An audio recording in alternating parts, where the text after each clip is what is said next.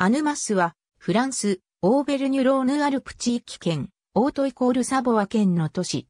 フランス・スイス国境のコミューンで、レマン湖の南東にあたる。フランス領アルプスの北部にあたり、アヌシーより 45km 離れている。ジュネーブ都市圏の自治体に数えられる。湖に接しているため、高地にありながら、大陸性気候と地中海性気候の両方から影響を受けている。夏はしばしば暑いが、冬は非常に温暖である。年間平均気温はおよそ摂氏18度である。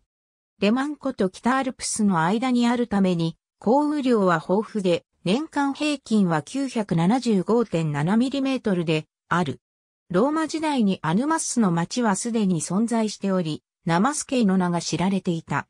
ガリア系のアロブリゲス族が3世紀頃定住していたことがサレーブ山にある遺跡で証明されている。6世紀にはジュネーブ司教とビエンヌ司教によってアヌマッスの教会が性別されていた。長くサボヤ公国領であったアヌマスは1792年から1815年までフランスに属したが王政復古によって返還された。1860年フランスのサボワ併合によってフランスの領土となった。アヌマッスの発展はまさに鉄道の到来で始まった。